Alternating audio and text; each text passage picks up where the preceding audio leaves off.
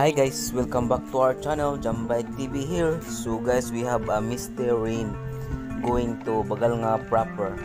And after this, we're going to Bogho. We have some uphill there and after that in Bogho, we go to downhill and encounter heavy rain. But it's okay guys, it's part of the ride. You cannot know the weather. The important is when the slippery road, you have to be extra careful. So guys, thank you so much and have fun for this ride.